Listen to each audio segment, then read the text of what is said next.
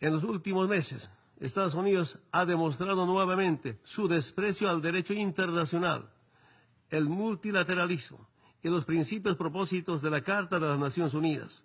Cada vez que Estados Unidos invade países, lanza misiles o financia cambios de régimen.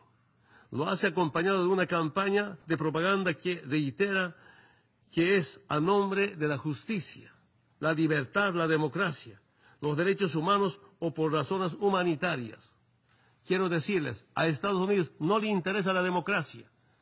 Si así fuera, no habrían financiado golpes de Estado y apoyado a dictadores.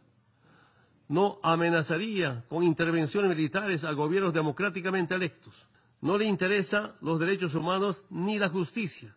Si así fuera, firmarían los convenios internacionales de protección de los derechos humanos. A Estados Unidos no le interesa el multilateralismo. Si así fuera, no se habrían alejado del Acuerdo de París o del Pacto Global de Migraciones.